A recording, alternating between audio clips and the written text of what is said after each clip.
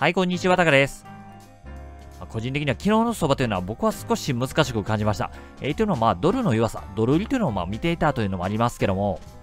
もう一つ、円の動きというのがどうもやっぱりつかみにくいですね。えー、朝方こう介入なんかもありましたけども、その前ですね、えー、そこに個人的には少し注目をしていて、朝の早い時間からえらく円が弱かったんですね。まあ、これは介入で潰されましたけども、えー、結果的には昨日これ戻してますんで、やっぱりこう円の動きというのが本当に分かりにくい動きしてるなと、えー、個人的には感じますね。えー、というところでもう一度この円指数を、えー、まずは見ていきたいと思うんですけども、円指数っていうのはこれサポート終わってるんですよね。えですから基本的にこう弱い流れっていうのはこれも間違いない事実ではあるんですけども、えただ今は流れが止まっての調整局面、えさらに先週の金曜日はこれ円買い介入がありましたからね、え買いが入ったんですけども、えこれ今のこの現在地を見ている限りは、え潰されてませんかね。まだ下の方に抜けてないですから、えー、レンジと捉えていけばいいと思いますけども、え、これ上を試してダメだった形になっているわけで、下の方に抜けてしまったらトレンドの継続になってしまいます。しかもこれ上を試したのは介入きっかけですからね、介入なければ試すこともなかったかもしれないわけで、えー、相当やっぱりこの円の弱さというのは今のチャートを見る限りは見えてくるんですけどね、えー、ただ今の位置というのはまだこれ割れてはいないですから、じゃあここからショートをしていけるかどうかというのはこれは別問題ですね。というところで、まあ、これが今の円の環境だと僕は思うんですよね。えー、では、これを見て、えー、今日は円が買われますか売られますか、えー、なかなか難しくないですかね。まあ、当然、こう、介入への警戒は必要ですし、え、ただ円っていうのは相当弱いからやっぱり売っていきたいと。え、でもまだサポートは割れていないと。いろいろこう見ていくポイントはあるんですけども、え、はっきり明確な答えというのが一つもないような状況です。ただまあだからこそこうボラは出やすいのかもしれません。えみんながわからないからこう買いが入ったり、え売りが入ったりでこう上下の動きが生まれてくるかもしれませんから、まあそれはそれでいいんですけども、ただね、まあこうトレンドを見ていこうと思うと少し難しい環境にあるという点は押さえておきたいですね。えですから個人的に特に黒線ですね、円が絡む通過というのはすごく難しく感じます。そしても一方、ドルに関してもね、えー、はっきりまだ答えは出てないんですけども、まあ、詳しくはドルインデックス、えー、見ていただければと思いますけどね、えー、まずはドル売り、え自分は少し見ていこうかと思ってますんで、まあ、方針が決まっている分、えこのドルが絡む通貨の方が自分は少し今日は見やすいですね。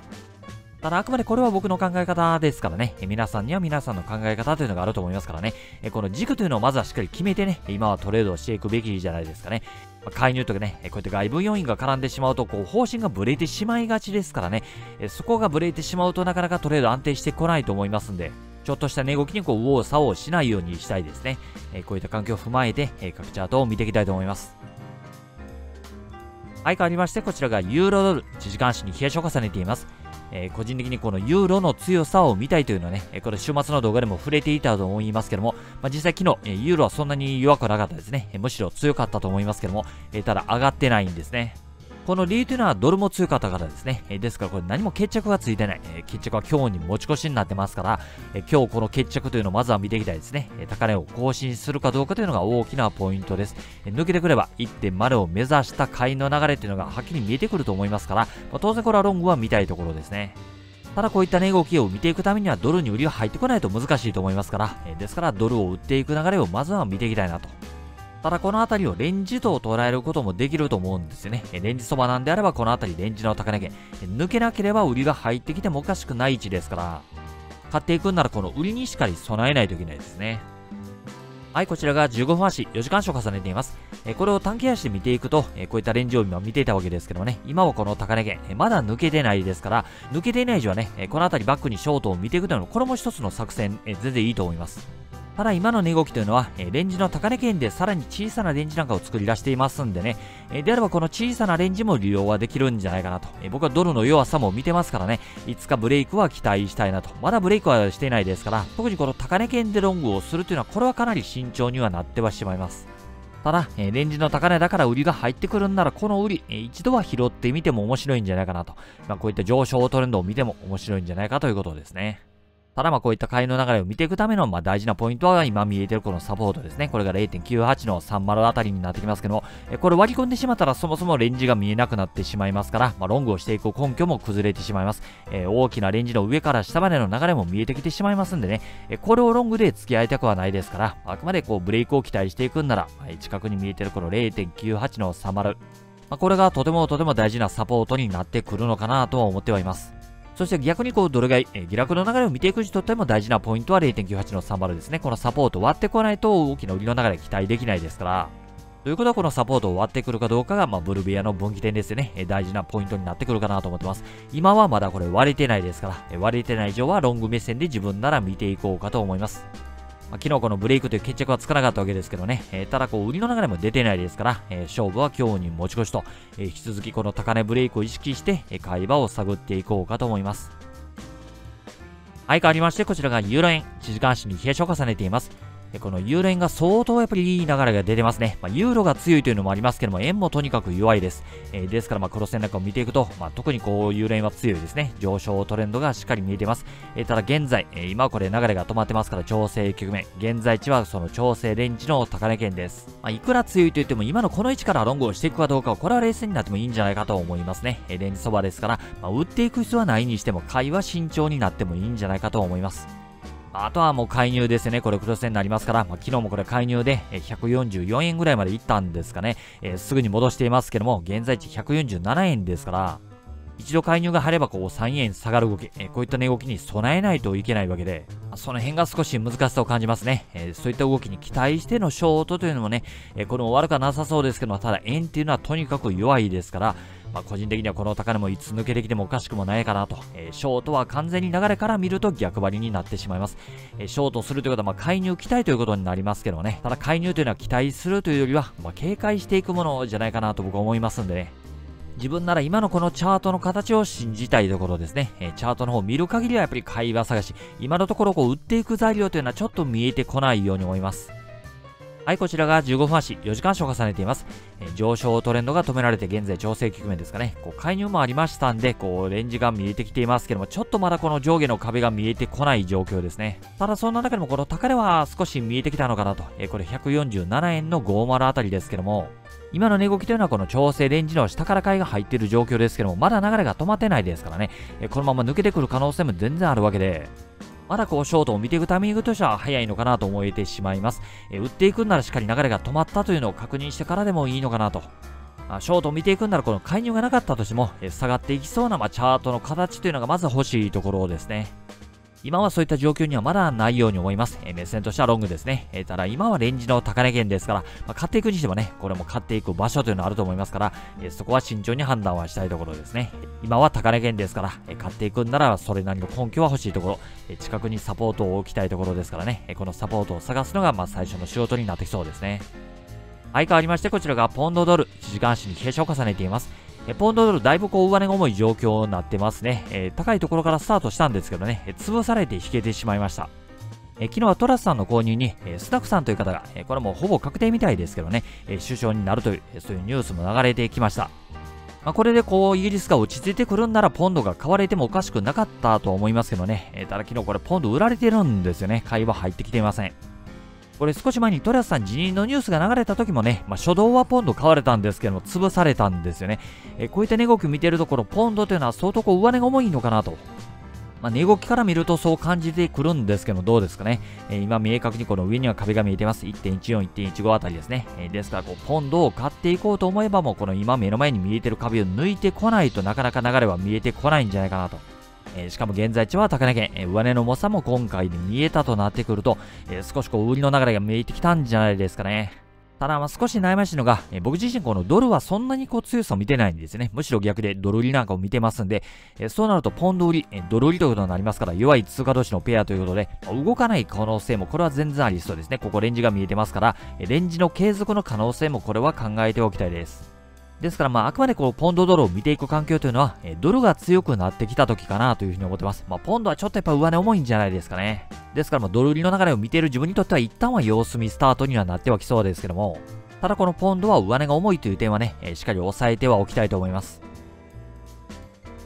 はい、変わりまして、こちらがポンド円、1時間足に傾斜を重ねています。えポンド円も同じような環境ですかね。まあ、円がとにかく弱いというのがありますから、上昇トレンドはしっかり見えてますけども、え現在は流れが止まって調整局面、えちょっとレンジの幅が狭いなと個人的には思ってしまいますけども、ただまあ、レンジがはっきり見えてますね。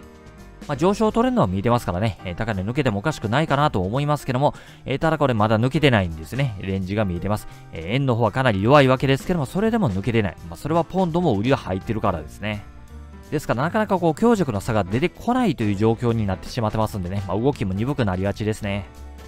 はい、えー、さらにこちらが4時間足、週足を重ねています。えー、週足環境を見ていくと、こう、流れが止まっている理由というのも見えてくると思います。えー、この高値圏なんですね、えー、抜けてくれればいいんですけど、抜けなければ売りが入ってもおかしくないような場所で、えー、髭をつけてるんですよね。まあ、これは介入だけではなくてね、介入がなかったとしてもかなりこう上髭つけたりもしてますんで、え、上値が重いというのはこの値動き見てもわかりますね。え、ただまだ売りは出てきてない。ですからこう円が買われる流れが見えてくるとこう波の反転などは強くやっぱ意識して見ていくことにもなりそうで、えそういった場面が出てくるんだら、まあ、ショートなんかは強く意識してみたいところですけども、えただ今の相場って円がとにかく弱いですからね、なかなかそういった値動きにはなりにくいのかなと。ですからこう、ポンドドルも同じことが言えるんですけども、えポンドドルやポンド円というのは、今のこの相場環境にはあまり合っていないのかなと。弱いポンドに対して強い通貨を見ていかないと流れは出てこないわけですけどもね、今円っていうのはすごく弱いですし、えドルなんかもこうドル売りなんか今意識してますからね、まあ、そうなると少し値動き見ていくのは難しそうですね。ですから今はちょっと我慢の時なのかなと。えー、そしてまあ例えば円の方に買いが入ってくるとか、えー、ドル買いが再び出てくるとか、えー、こういった環境になった際のこのポンドの弱さというのを注目していくのが面白いのかなと思います。まあ、もしくはこう弱いポンドに対して強い通貨を見てくる。えー、僕なら今だとこうユーロなんか見たいところですかね。ユーロポンドとか、えー、この辺りをまあ見ても面白いかもしれません。まあ、とにかく今このポンドというのは環境にはあまりやっていないように思いますんでね、えー、じっくり待つのが大事になってくるかなと。まあ、見ていくながらはこのポンドの上値の重さですね、なかなかこう買いが入ってこないという状況を引き続き見ていきたいと思います。はい、変わりまして、こちらが5ドルドル、1時間足に冷やしを重ねています。え、この5ドルがなかなかこう買い入ってこないですね。えー、先週の金曜日、ようやくこれ高値ブレイクしたんですけども、えー、昨日ですね、潰されてしまいました。これずっと同じことを言ってますけどね、え前回の成績の発表から5ドル、えなかなか買いが入ってこない。えそうこうしているうちに来週の火曜日、えまた成績の発表を控えています。1週間後に政策金利が控えている中で、このような上値が重い流れが見えてしまったら、なかなかこう買いにくい流れが出てきてしまうんじゃないかなというふうに思いますけども、これどうですかね？ですから、まあ今はまだわからないですけどね、えドル買いの流れなんかが出てきたりなんかすると、えー、強い売りの流れに繋がってしまうかもしれないですね。もともとチャートの方も弱いですから、下の方に抜けてしまったら走る場面も十分出てきそうです。まあ、とにかく昨日のこの冷やしは相当やっぱり感じ悪いですね。えー、もし強かったなら、えー、抜けの動きを見ていくんなら、ここまでの押しはやっぱり見たくはなかったところです。ま、自分なら再度このレンジの中に戻ったと判断しますかね。え、であれば今の現在地はレンジ上限。抜けたからといって、え、簡単におしめ買いをしていい流れではないように思います。はい、こちらが15分足、4時間足を重ねています。えー、この辺りのレンジと見てるわけですけども、先週の金曜日ですね、1回これ抜けました。えー、ただこれが潰されたとなってしまうと、えー、まあ、上を試してダメだったと、えそう見えてしまいますね。えでは、再度またレンジが見えてきますから、え次はレンジの下を試す動きにつながってしまうかもしれません。なかなか5ドル、えー、流れが変わってこないですね。もう強い流れ見ていこうと思うなら、まあ、すぐにでもまたこう強い流れが入ってほしいところですけども、時間をかければかけるほどこう上値の重さが見えてきてしまうように思います。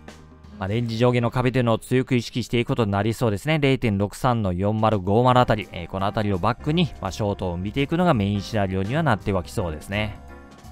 相変わりまして、こちらが5ドル円、1時間足に冷やしを重ねています。え5ドルも94.5あたりですかね。このあたりも明確に壁が見えてますね。なかなか抜けてこない。この5ドルのロングを見ていくためにはもうこれ抜けていかないと話にならないかなというふうに思ってしまいますね。はい、えー、そしてこれが4時間足、週足を重ねています。えー、週足環境を見ていくと、下のサポートが見えてくるんですけどね、え、これが92円、え、この92円に向けた下落の流れというのがあったわけですけども、これが今一旦止められたんですね。え、現在は調整局面。え、週足レンジが見えてますから、今の値動きというのはこの週足レンジの高値圏。まあ、そうなるところブレイクするかどうかというのは週足の終値で判断ですからね。え、そりゃこう短期足が少し抜けたからといって、え、ロングロングとはならないですね。まあ、だいぶ長い期間後の5ドルの上値の重さというのは見てますけども、なかなか流れが好転してこないですね。まあ、当然今日も5ドルの弱さ、えー、上値の重さというのは意識して見ていこうかと思います。はい、ということで、えー、まず注目したいのは、昨日に引き続き、えー、ユーロですかね。このユーロはもうかなりしっかり買いが入っている、えー、強さを感じますんでね、えこの強いユーロというのを軸に置いて見ていこうかと思います。もうどれも若干弱いながら見たいところですからね。まあそうなると、こう、強弱の差も生まれやすいのかなと。直近高値1.0に向けた上昇というのを考えていきたいと思いますけども、え昨日これ決着つかなかったですからね、え今日こそこの決着というのを見ていきたいと思います。あと相変わらずこう上値が重いポンドと5ドル。まあ、特にこのポンドなんかは、えー、新しい首相なんかも決まったりもしたんですけどね。まあ、それでもこう買いが入ってこないです。これ、いやらしいのが前回のトラストの辞任の時もそうでしたけどもね、まあ、初動は買われてるんですよね。えこの買われた流れが潰されたというのが少しやっぱり流れとしては悪いですよね。えー、まあ、それだけこう、ポンド上値が重いのかなと感じてしまいますけども、これどうなりますかね。えー、ですから、こう、ポンドが弱いんであればね、え、ユーロ強いというところで、ユーロポンドなんかを見ても面白いとは思います。逆にすごく分かりにくいのが黒線。まあ、全体的にやっぱり円は弱いです。えー、ですから上昇は見たいところなんですけども、まあ、介入が気になったりと、まあ、そのあたり気になるところと、えー、あとはポンドや5ドル、えー、このあたりもそんなに強くはないですからね、円安を見ていくにしても弱い通貨同士のペアになってしまうんですよね。えー、そもそも動きにくい相場になってしまってます。まあ、全体的にこう膠着感が少し出てきてしまってるかなと感じてしまいますけども、これどうなりますかね？え強い通貨をこう積極的に見ていこうと思える通貨がユーロしかないんですよね。ただこのユーロドッポ高というのはなかなか考えにくいと思いますから、まあ、何かしらこう買われてくるんでしょうから、まあ、そのあたりは値動きからしっかり判断はしたいと思います。まあ、個人的には難易度は相当高い相場に感じますんでね、まあ、あまり無理はしないようにしたいですね。えー、今回は以上になります。えドル円やドルインデックス、え株式については別動画になっています。概要欄の方にリンクの方も貼っていますので参考にしてください。えそれでは今日も頑張っていきましょう。